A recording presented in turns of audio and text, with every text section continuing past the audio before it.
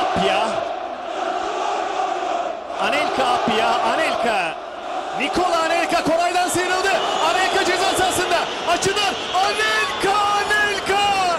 Nikola Anelka sağ kanattan öyle bir geldi ki kimse yakalayamadı. Fransız yıldızını Fenerbahçe'nin ve Anelka'nın attığı golle 18. dakikada Fenerbahçe 1.